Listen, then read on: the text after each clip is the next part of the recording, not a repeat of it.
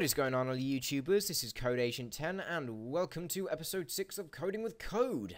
And in this episode of Coding with Code, I'll be showing you how to create a password protected file. Now, I did something very similar to this in one of my previous videos, I can't, can't remember which one it was, but um, I showed you how to create a password protected program, like how to put a password on uh, Google Chrome or IncrediMail. But now I'm going to be showing you how to do that with a file. So let's just go into my classified files here. And as you can see, I've got a bat file here that's um, classified file. um, oh yeah, I didn't actually create the file thing. Right, so as you can see, a new file has appeared that's called Locker. This is the thing that, that has got the password onto it. Um, and as you can see, there's nothing in it because I haven't put anything in it. But in order to lock it as well, what you do is you just click on that again, uh, click Y to lock it again. Uh, there we go, it's locked. And then to open it, you then want to you know, click on it again. It will ask you to enter a, a, a password. So the password of mine is password. Two S's, you nut. And there we go, it's successfully unlocked it. So yeah, that's basically what it does. Um, in order to, mm, in order to create this, uh, I'm going to show you now. So let's just open up. You've got to open up notepads, come into here. Uh, I'm not going to bother typing it all in. I'm just literally going to paste. And here we go. This is all the coding. Now, in order to change the password, you want to do is you want to come down here. And here where it says password, you want to change that bit into whatever you want. So we could change it into, I don't know, hi if you wanted to.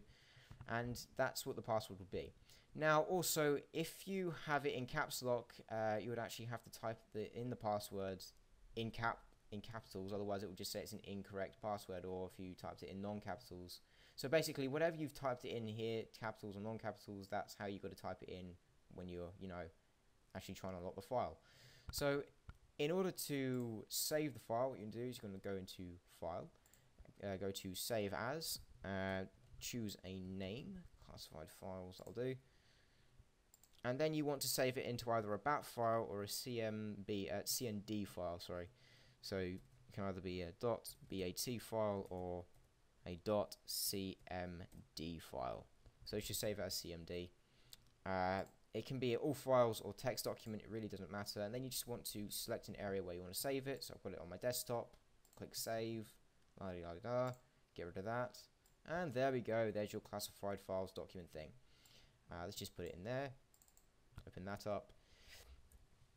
Open it up, let it create a file, continue, and there we go, there's your locker file. So, yep, in order to lock it, you just click Y as I showed you earlier, continue, and there we go, it's it's locked. So yeah, if you found this tutorial helpful, then please leave a like down below.